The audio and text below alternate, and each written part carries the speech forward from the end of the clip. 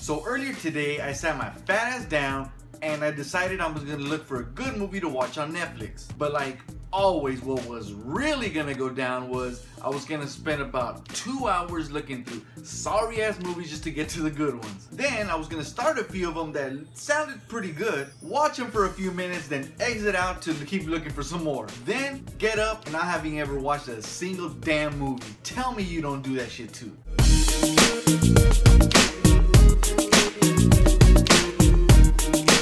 Time I see a movie that sounds pretty good on Netflix, I kind of go on my laptop, open that up, go on the website and check everybody's reviews, you know, how many stars they're giving them, check what the reviews, just to kind of get a good sense to see if people are liking it, to see if I'll probably like it or not. And so because a lot of these movies have like thousands of ratings, thousands of reviews, what I just do is I click on the little review link and kind of scroll down super fast, kind of like if I'm looking at one of those animation flip books. And what I kind of see the most is what I'm kind of like, oh, okay, that's the average. I know, very scientific, right? So as I was doing this, I saw that Star Wars The Last Jedi was now on Netflix. Then I remember how lots of fans were pissed at the particular path that Rian Johnson decided to take The Last Jedi in, and so I became curious to, see what people were rating The Last Jedi on Netflix. Not good. And by the way, to compare, I checked the ratings for Rogue One. Four star, five star, up and down scrolling, five star, four star, the occasional two star. They were damn good. In contrast, for The Last Jedi, one star, one star, one star, one star. The occasional two through three stars sprinkled in there, and the very rare four to five stars, but really not good at all. So yeah, man, the Star Wars brand is suffering big time right now. This is not news, and it's all kind of due to the Last Jedi and what Rian Johnson decided to do with it, and what the Lucasfilm leadership is kind of done with the fan backlash and kind of blaming them. And Solo's flop kind of reaffirms this. And hey, I'll be honest, I had a lot of issues with with The Last Jedi, but overall, I gave the film a pretty good review. But the more I sit on it, the more it makes me frustrated, the more I kinda don't like it, the more I kinda hate it, the more it pisses me off. Like all the other pissed off fans, I start to wonder why in the world did Rian Johnson choose to go there and why did Lucasfilm and Kathleen Kennedy let him go there? And not only that, but Rian Johnson missed the opportunity to make this movie fucking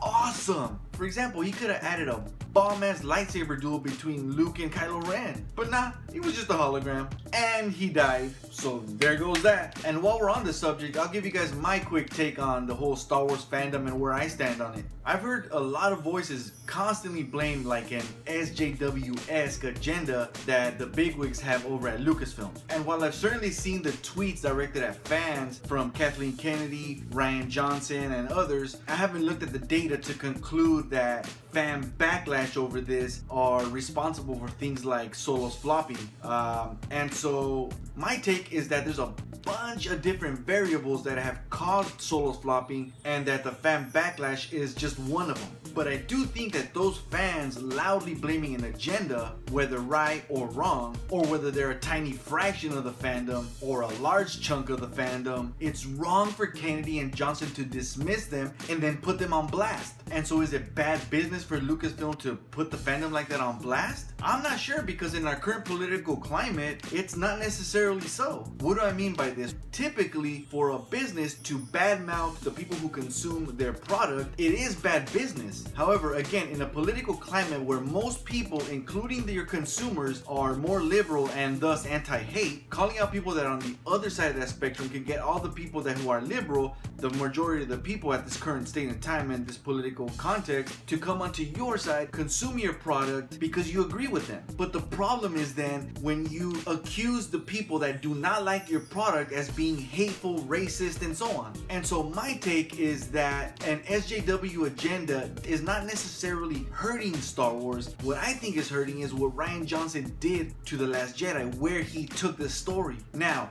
did he take it there to fit an SJW agenda? It's possible, but I don't have an inside source, so I don't know. According to some of the statements by the Lucasfilm leadership, it might be, but I can't sit here and tell you that for sure this is the way it is. Man, this is a crazy rabbit hole and I feel like I'm getting sucked into it right now. But yeah guys, in the end what I'm trying to say is terrible ratings for The Last Jedi on Netflix. Yes, it's Star Wars. Yes, this movie has tons of cool stuff in it, cool space battles, an awesome lightsaber duel, but it also has a ton of annoying things in it. And it overall pissed the fandom off, and for the most part, I agree with that. And yes, I know I have a The Last Jedi poster right behind my wall here. I think it's a cool poster. Sue me. Alright guys, that'll do it for this video. Make sure you hit the like button. And hey, if you're Walking Dead, comic book genre, Star Wars, Game of Thrones, and all around film loving geek, then you gotta subscribe. And also, make sure you check out more of my videos right now.